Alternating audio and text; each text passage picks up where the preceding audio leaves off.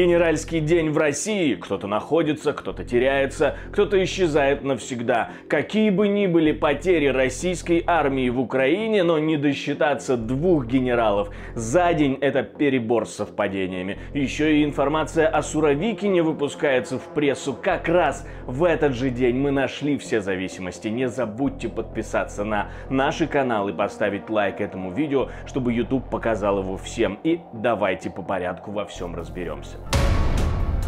Мы говорили с вами уже о топ-менеджерах, об ученых и о военных и ФСБшниках, ФСОшниках, которые загадочно умирают или исчезают.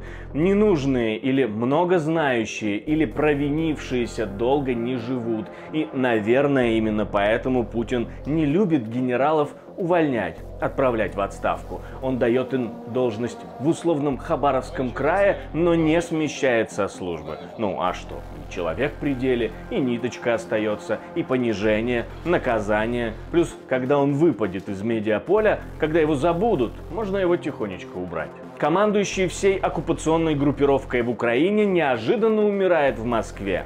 Генерал-полковник Геннадий Житко, который в мае-июле 22 года как минимум возглавлял оккупационную армию, неожиданно, но предсказуемо умирает.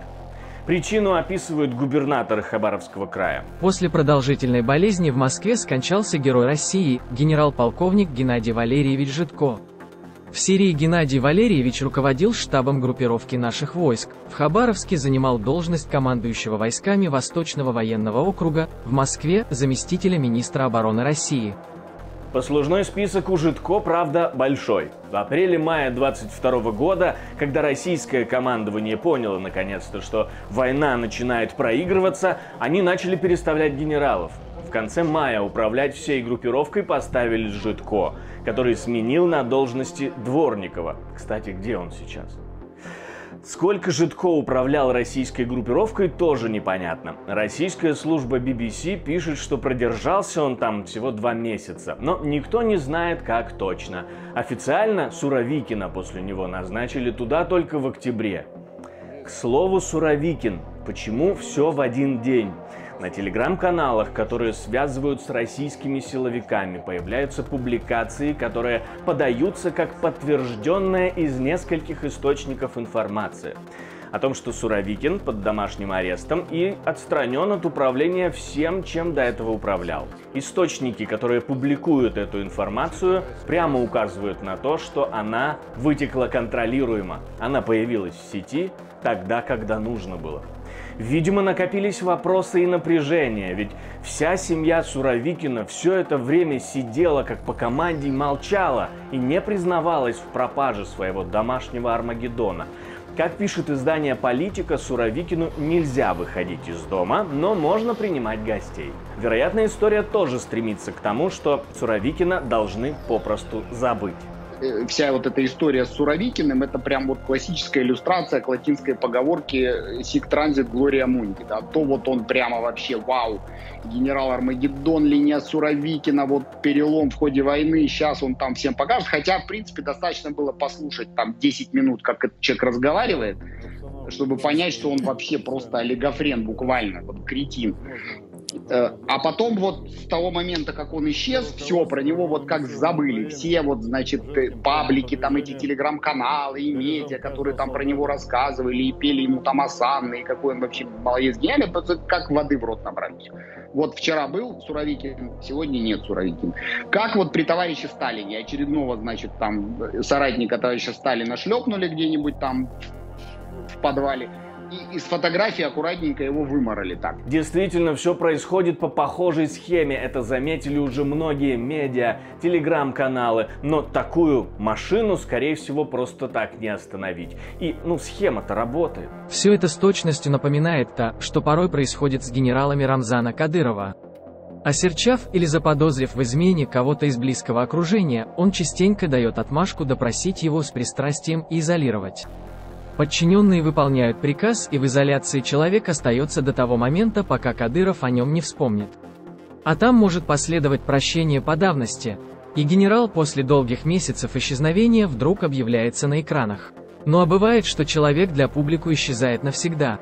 Суровикин вроде пока еще жив и не сидит в тюрьме. Может быть, в этот момент ему как раз и придумывают подходящую статью. А вот, к примеру, еще один генерал, которого 16 августа нашли мертвым и как раз уже в тюрьме. Бывший руководитель Федеральной службы охраны на Кавказе, генерал-лейтенант Геннадий Лопарев, умер в исправительной колонии номер 3 в Рязанской области. РИА Новости пишут, что у Лопарева ухудшилось состояние здоровья, и его быстро госпитализировали в Рязанскую областную больницу. Причины смерти не сообщаются. Лопарев сидел с 17 года за получение взятки от бизнесменов за свою помощь в заключении и выполнении государственных контрактов на строительно-ремонтные работы. Второй генерал, ушедший 16 августа 23 года. Э, исходя из последних э, действий, допустим, и последних э, веяний, постпригожинских, мягко так скажем, бывает такое, что человек шел-шел, забыл, как дышать и умер. И вот это оказался генерал. И такое бывает, потому что это Россия, это ФСБ, это война этих башен. Не исключено практически ничего. Потому от боярышника до забывания процессов дыхания бывает все, и я думаю, это не первая, не последняя такого рода смерть. Что происходит и почему так вовремя появилась информация от Суровикина? Кто следующий? Где Герасимов? А вдруг все это правда совпадение? Есть ли вероятность того, что кто-то из этих генералов, о котором предсказуемо забыли, мог собраться и втихую попытаться сбежать за границу, ну, чтобы там по полной изменять родине? ни много ни мало порядка 15 э, высокопоставленных военачальников изолировать. Они куда-то исчезли. Они исчезли из публичного пространства, они исчезли с территории поля боя. Ну, я имею в виду там генерал Мизинцев, э, генерал э, Суровикин, генерал Попов и некоторые другие. Это означает, что и военные устали от, от такой войны. Э, не факт, что они поддерживают Украину, совсем не факт наверняка даже не поддерживают. Но то, что война идет не так, как им хотелось бы, вот это, мне кажется, совершенно очевидно. Поэтому и Гиркина сажают, а поэтому репрессии разворачиваются. Это все не от хорошей жизни, не потому что Путину так это нравится. Просто он не справляется, ситуация не улучшается. А, соответственно, надо